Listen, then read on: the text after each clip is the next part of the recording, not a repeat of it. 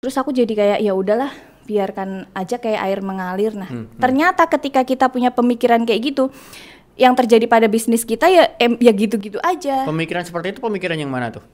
yang kayak biarin air mengalir aja Oh, biar air mengalir aja. Yang menarik adalah transformasi menurut saya ya, transformasi Mbak Nia. Yang tadinya itu emak-emak yang di mana dengan segala keterbatasan, dengan segala apa ya. Kadang-kadang emak-emak ini kan saya nggak bisa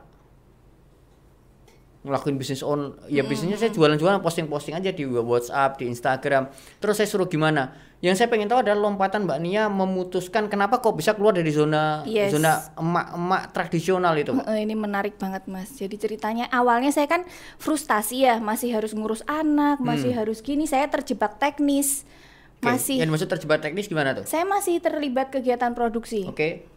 Jadi produknya custom waktu itu, gambarnya bordir gitu ya, gambarnya tuh saya motong sendiri gitu-gitu kan. Hmm. Waktu itu saya tuh ini nggak mungkin ada orang yang bisa begini, siapa yang tak pekerjakan yang bisa tak latih bisa sama kayak aku itu mikirnya tuh nggak akan ada gitu. Oke, sebentar. Pada waktu itu produknya apa sih? Bantal. Bantal. Bantal custom ya. Iya, Artinya konsumen mau pesen dengan style apa pun Mbak Nia tak layani. tak layanin gitu. Oke. Dan aku merasa itu adalah kelebihan dari brandku yaitu bisa bikin apa aja yang diminta sama customer. Oke. Mau itu naik sepeda, anaknya lima, anaknya pakai baju warna apa aja tuh semua tak iyain. Semua bantal itu bisa di custom pokoknya. Se-custom itu ada tai Se-custom itu. lalatnya, ada pakai behel, Kumis. pakai apa semua bisa Oke, gitu. pakai jenggot bisa. Seribet itu Mas bayangin. Hmm. Terus makanya aduh kayaknya nggak bisa deh. Kayaknya ya memang harus kayak gini gitu. Iya, Apalagi punya anak pertama. Terus aku jadi kayak ya udahlah biarkan aja kayak air mengalir. Nah, Hmm, ternyata ketika kita punya pemikiran kayak gitu yang terjadi pada bisnis kita ya em, ya gitu-gitu aja. Pemikiran seperti itu pemikiran yang mana tuh? yang kayak biarin air mengalir aja. Oh, biar air mengalir aja. Kenapa Mbak Nia mempertahankan saya tetap mau custom? Padahal kan ribet banget gitu. ya. Iya itu kurang kurang gaul, kuper. Oh, kurang gaul. Wawasannya nggak nambah gitu. Oh, itu saya ngerti tuh apa yang Mbak Mbak Nia bayangin. Mbak, Mbak Nia mungkin mikir gini. Kalau produk saya saya bikin nggak custom, yang artinya sudah jadi, apa ada orang yang mau nerima produk saya? Betul Pikirannya sekali, gitu kan? iya, pasti nggak laku. Karena produk saya ini apa nilai tambahnya gitu kalau nggak custom gitu ya.